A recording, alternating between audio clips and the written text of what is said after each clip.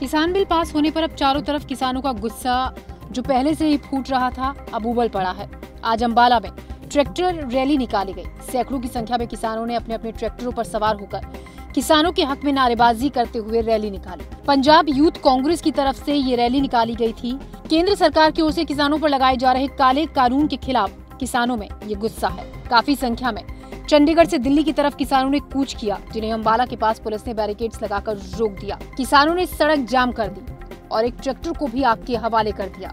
पंजाब, हरियाणा, दिल्ली तक के किसान इस कानून का विरोध कर रहे हैं। जगह जगह किसान जाम लगा रहे हैं, हंगामा कर रहे हैं। कुरुक्षेत्र रोड पर भी काफ़ी संख्या में किसान जुटे और जाम लगा दिया।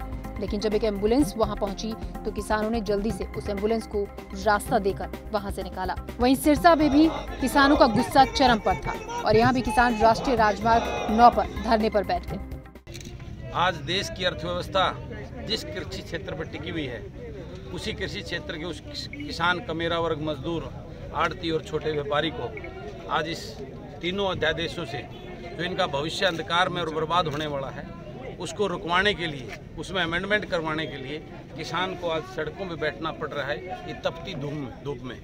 तो ये इस देश का बहुत बड़ा दुर्भाग्य है और ये इस, आज इस तपती धूप में एक एक पसीना जो आज किसान का बह रहा है, ये इस भाजपा सरकार की कील, इसके ताबूत में कील ठोकने का काम करेगा। जिस प्रकार तानाशाही रवैये से पीपली के अंदर किसानों, बुज़ुर्गों पे लाठियाँ भाजने का काम किया इसने किसानों के गुस्से को देखते हुए सिंधु बॉर्डर समेत तमाम संवेदनशील जगहों पर सिक्योरिटी बढ़ा दी गई है ताकि स्थिति कंट्रोल में रहे।